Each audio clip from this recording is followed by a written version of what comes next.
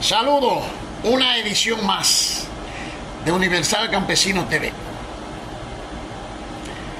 Suscríbete y dale like. Suscríbete y dale like. YouTube, YouTube, Integramitito. Siguen los problemas y demandas en la música típica. Yo entiendo que algunas de estas demandas son excesivas, pero si la ley o las leyes los permiten, no es descabellado.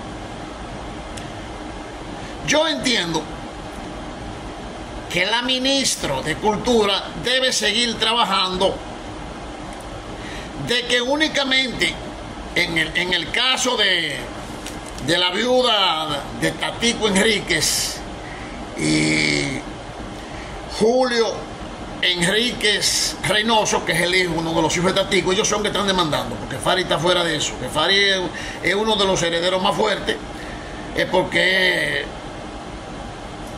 toca un acordeón excelente, ese, ese es el heredero de Tatico. debería ser más fuerte porque es el que toca el acordeón. Muy bueno, excelente. Entonces, tanto la viuda de Tatico como el hijo que está demandando, Julio,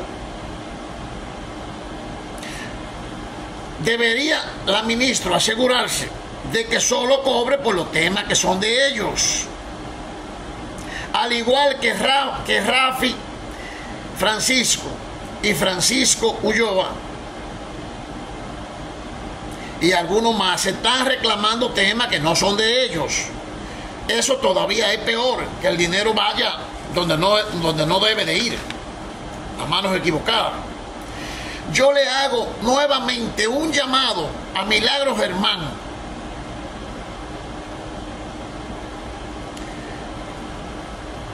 Habemos varios músicos que sabemos de quién es cada tema. Estamos, estamos disponibles para ayudar a resolver el problema y que el dinero vaya a los herederos correspondientes o de los contrarios, si no aparecen los herederos dentro de un plazo razonable, esos temas pasen a ser patrimonio de República Dominicana. Por ejemplo, los herederos de Celso Cruz, Vilo Enríquez, Toño Abreu, Dionisio Mejía Guandulito, el Negro Figueroa, Ciano Aria, Nico y Antonio Lora, Aristide Ramírez, Diógenes Jiménez, el general Alguito, Ramón Mezquita, Matoncito, Mario García, Isaías Enrique, Bartolo Alvarado, el ciego de Nagua,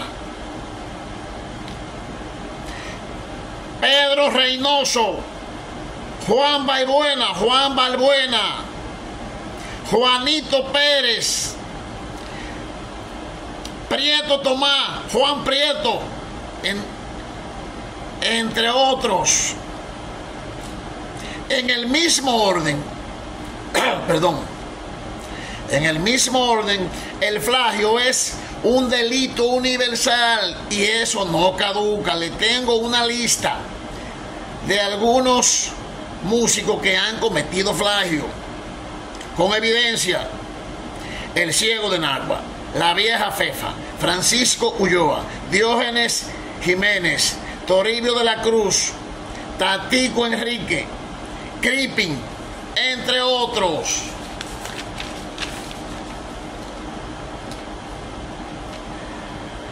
Las órdenes de un juez hay que respetarla, hay que respetarla. En mi opinión, eso de alegar que no se toquen los temas de X compositor en vivo es un reverendo disparate.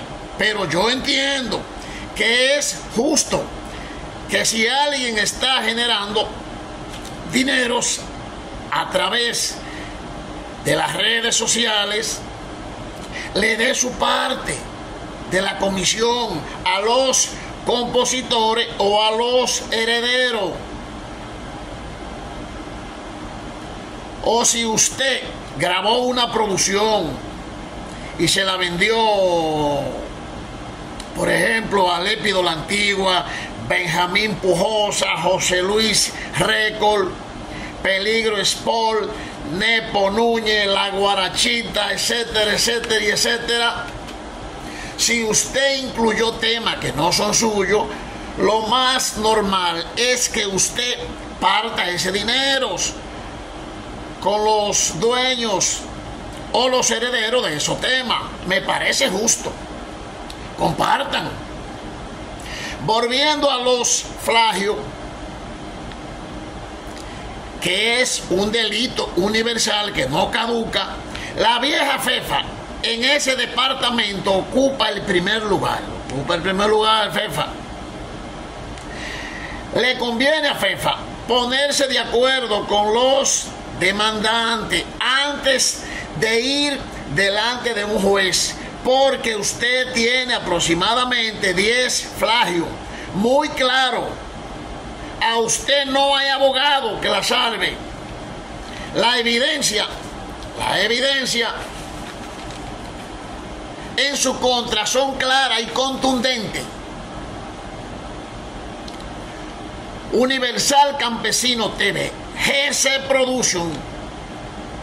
Suscríbete, dale like, comenta y comparte. Dios, humildad y fuerzas. Bendiciones. Hasta la próxima.